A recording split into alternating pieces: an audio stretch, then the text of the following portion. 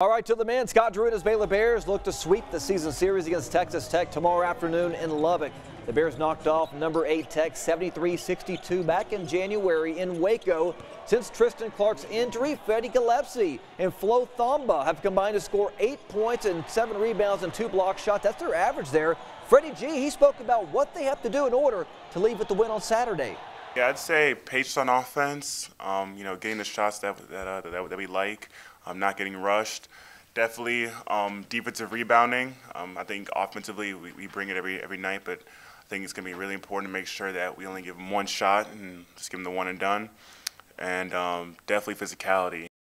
Physicality, the Freddie and Flo show tomorrow afternoon. We'll be right back after the break.